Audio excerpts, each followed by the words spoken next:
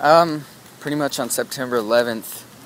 Um, I remember I was, I think I was, I was, I was out on a hall pass to go to the restroom, and um, I was walking back to my class, and um, somebody had passed by me in the uh, in the commons area where we just hang out, and they were like, "The trade center went down. The trade center went down, or it got hit," and I was like, "Whatever," you know. I didn't, I didn't really uh, believe them, and so like I shrugged it off and like, "Whatever, you're you're stupid."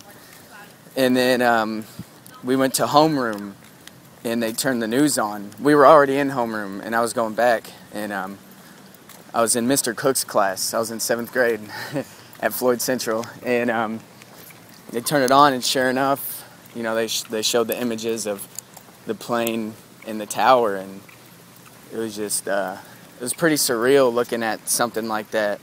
Um, and I like thinking back to Pearl Harbor and and whatnot, living living through um, you know a tragedy, you mm-hmm. know a terrorist attack, and um, it was just pretty a surreal feeling. And then when um, I remember just sitting sitting in my desk, just looking at it, like just kind of like I don't know, I didn't really didn't know what to think. I was kind of immature at the time because of my age. I was in seventh grade, so like I didn't fully comprehend what was going on and um, all the details started leaking out and then all of a sudden what was it like at 908 i think the first tower went down.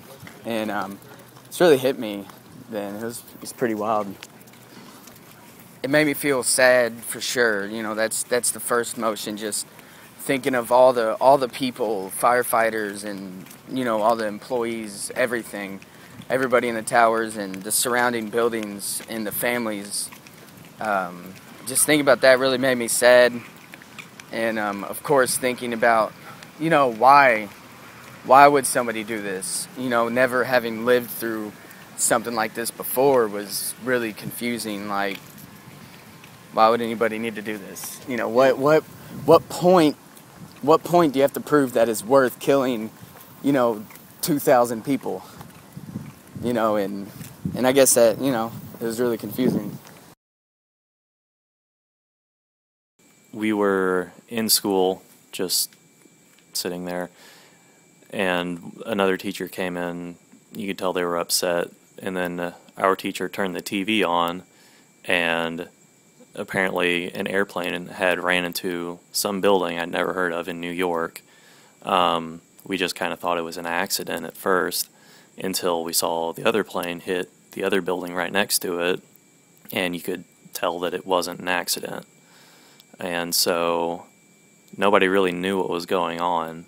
You know, we just kind of sat there watching TV, and uh, eventually they just turned the TV off and tried to resume going back to the normal for the rest of the school day, but you know, you can't really focus too much when you just saw something like that. And uh, even whenever I went home, I was I turned on the news and just watched and tried to figure out what happened. And uh, I don't know, people were just, that's all people talked about for days and weeks. You know, I was 11, I didn't know how anything was going to turn out. I was scared there was going to be, you know, World War III. And luckily it didn't quite come to that, but, you know, for an 11 year old, that's pretty scary thought.